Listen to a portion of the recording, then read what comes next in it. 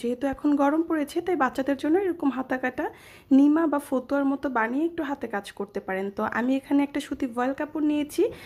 আমি এখানে বাসন্তী হলুদ কালার একটা কাপড় নিয়েছি এবং দুই সাইডে এরকম একটু খোলা রেখেছি। চাইলে মিডল বরাবর একেবারে বাটন হোল করে নিতে পারেন, তবে আমি একটা বাটন দিয়ে এই ফতুয়ার ডিজাইনটা করেছি এবং এই কাপড়টা কিন্তু অনেক ভালো আর গরমের জন্য এগুলো সব থেকে ভালো হয় এবং আমি গলা এবং হাতায় কিন্তু কালো একটা বর্ডার পাইপিং দিয়েছি, যেহেতু আমি এখানে কালো একটা ডিজাইন করব। তো প্রথমে আমি ডিজাইনটা ড্রয়িং করে নিচ্ছি।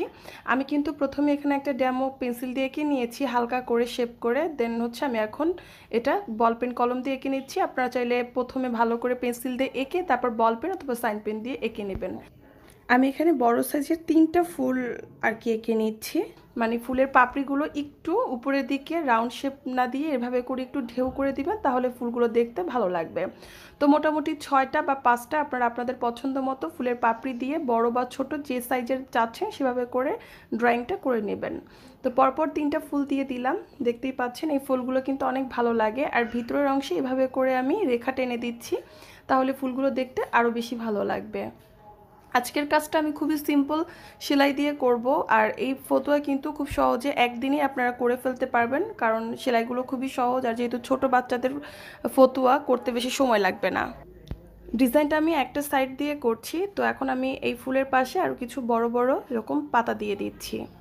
যেহেতু এখন গরম পড়েছে, তাই ছেলে বাচ্চা বা মেয়ে বাচ্চাদের জন্য কিন্তু সুতি এরকম আর কি সুতি কাপড়ের ফতোগুলো খুবই কমফোর্টেবল গরমে পরার জন্য। তাই একেবারে সিম্পল এরকম না পরিয়ে একটু হাতের কাজ করে দিলে দেখতে আরও বেশি ভালো লাগে।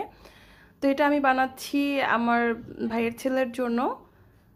তো ভাবলাম আপনাদের সাথেও কাজটা শেয়ার করি। কারণ অনেকেই বলছিলেন যেন আমি গরমে কিছু বাচ্চাদের ফতুয়ার ডিজাইন শেয়ার করি। একটা ফুলের কলি এঁকে নিচ্ছি। আমি ডিজাইনটা সম্পূর্ণটাই আপনাদের সাথে শেয়ার করলাম। কারণ অনেক আপুই আছে, ভালো করে ড্রয়িং করতে পারেন না। তারা একটু এটা ভালো করে খেয়াল করলে কিন্তু আপনারাও এরকম ড্রয়িং করতে পারবেন। অথবা যারা ভালো ড্রয়িং করে, আশপাশে আছে অনেকেই, তাদেরকে দিয়ে একটু ড্রয়িংটা করিয়ে নেবেন।